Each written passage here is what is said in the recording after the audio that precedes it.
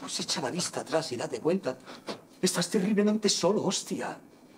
No puedo ponerte los créditos porque nadie quiere poner su nombre al lado del tuyo. Muy bien, pues no se hace. Mira, yo, yo, yo, yo sé que a mí esto me conviene, pe- pero, escúchame, a ti te ofrezco la oportunidad de seguir la lucha, de ganar una batalla. Es una creación tuya, Máximo, que transmite ideas que has defendido toda la vida. En casa de millones de personas, en seis idiomas, pagado por ellos. O sea, ¿de verdad que esto no significa nada para ti? ¿Qué es lo que quieres de verdad? Que esta historia llegue al resto del mundo.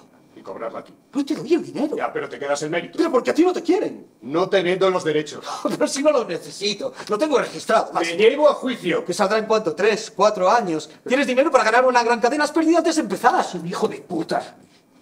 ¿Cómo te atreves a mirarte al espejo? ¿Y tu espejo qué dice? ¿Eh, Máximo? ¿Qué dice? Que soy Analduro. Lo siento, Máximo. No, no quería ofenderte.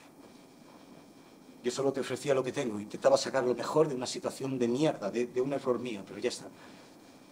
Si cambias de opinión, me llamas. Bienaventurados los que son escoria, porque ellos dominarán la tierra. Te deseo suerte. Al final todo esto es cuestión de suerte.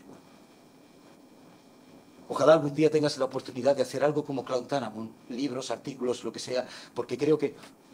Hostia, no lo creo, lo eres. Máximo, eres un puto genio.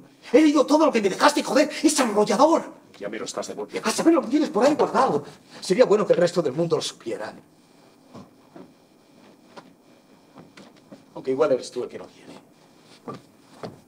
¿En serio vas a seguir con esto? No puedo soltarlo.